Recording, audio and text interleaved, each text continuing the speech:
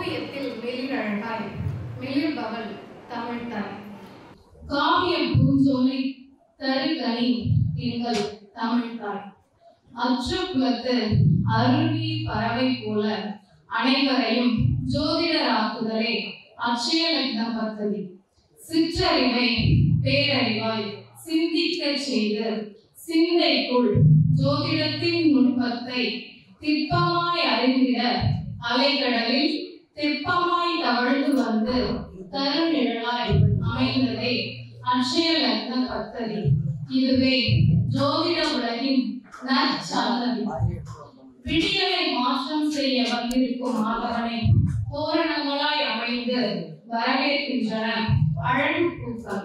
அந்த அழகு பூக்களுக்கு நிகராய் புன்னகை தவழ வருகை புரிந்திருக்கும் அட்சய லக்ன பத்ததி குடும்பத்தினர் அனைவரையும் வருக வருக என வணங்குதல் செய்து வரவேற்புரையை தொடங்குகிறேன்.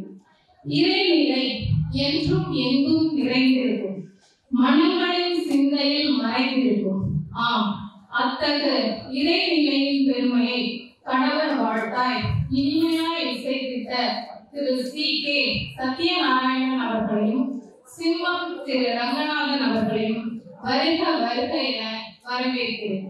ஈன்ற பொழுதில் பெரிதுவக்கும் தன் மகனை சான்றோன் என கேட்ட தாய் எனும் குரலின் வழியில் நூலின் முதல் பிரதியை வெளியிடவிருக்கும்.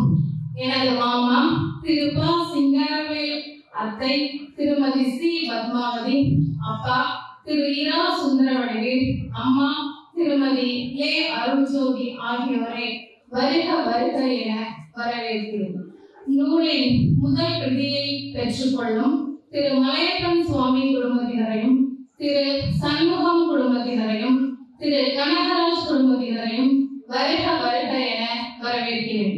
இரு நூலின் இரண்டாம் பிரதியினை வெளியிடும் திரு ஏ டி துரைகுமார் ஐபிஎஸ் அவர்களையும் திரு த.